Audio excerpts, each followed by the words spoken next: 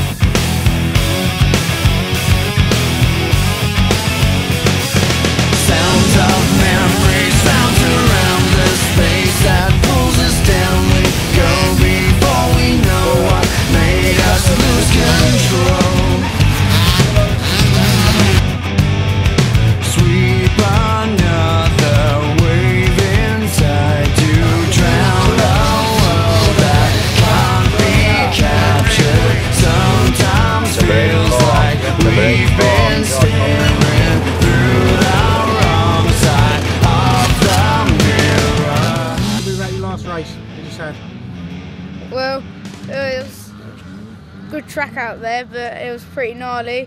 Um, I got holeshot, and uh, I just led my own laps. And then uh, I heard Christopher catching up on me, and um, came down the hill, hit a big kicker, and then my hand came off, and went outside of the rut, and he got me. So who won that, Christopher? Did you win that? Yeah, I when it was going well at the start, Tom pulled a gap and then I was reeling him in and then Tom made a mistake and we had a, I went by him and then we had a brilliant battle at the end. What about the first race? Um, I won that one.